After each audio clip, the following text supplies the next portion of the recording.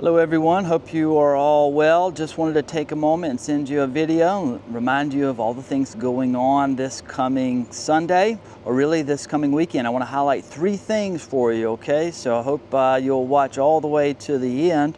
Uh, this Sunday is October the 27th, and there'll be uh, some uh, exciting things going on this Sunday and a change in our schedule. So we'll only have one service this coming Sunday. It'll be at 11 o'clock here in our beautiful sanctuary. It'll be a combined worship service and it will be Commitment Sunday, right? So, this time of year, we typically think a lot about stewardship and uh, make commitments for 2025. Uh, we have sent our members uh, a letter with financial update on the church as well as pledge cards. We've given uh, you some of those as well in the past couple worship bulletins.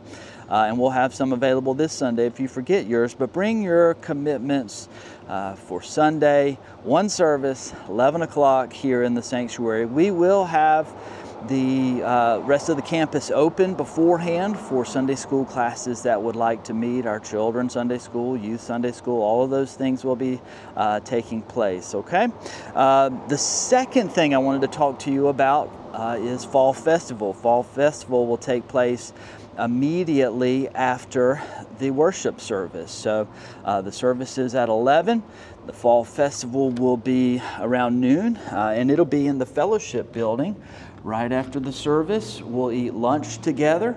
Uh, and we'll watch the kids uh, play and have a good time. As far as lunch goes, uh, we'll, we've been asking people to, to bring a pot of chili. You can come to the fellowship building before the service and drop those off. We'll have uh, some uh, power outlets to keep those warm if you bring it in a crock pot or something like that. Uh, we encourage you to, to, to, do that, to bring uh, baked goods for our desserts and things like that. Um, uh, it won't just be chili, it'll be hot dogs. Uh, we'll have baked potatoes. Um, so it'll be a good time. There'll be a lot of treats for the kids. So I encourage you to participate in that time of fellowship together. So one service at 11 and then fall festival at noon.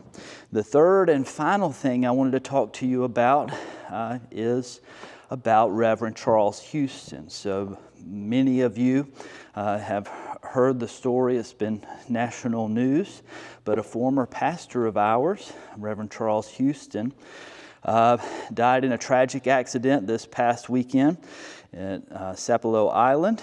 And, um, you know, it's, it's, it's terrible, but uh, Charles was a pastor here from 1994 to 2001. And so I did uh, just see that the funeral arrangements have been posted. Uh, there's a, um, you can see his obituary and things on the funeral home in, in Ludowici is, is where I found it, okay? But um, so here's what I've got. The funeral service will be at Brunswick First United Methodist Church this coming Saturday, October the 26th. Uh, it is at 11 o'clock, and then beforehand at 10, they will have visitation, okay? So um, if you would like to, to go to that, uh, uh, you're, you're encouraged. Uh, we do have a few folks who have said, hey, if, we, if there's enough of us, do you want to uh, carpool together and use maybe one of the church vehicles? And that would be fine too. But would you call and, and let us know, and, and we'll uh, put the people who would like to ride together uh, together, and we'll see if we can put together a group to go over there on Saturday early in the morning. All right, blessings, you all. I hope you have a good rest of your week.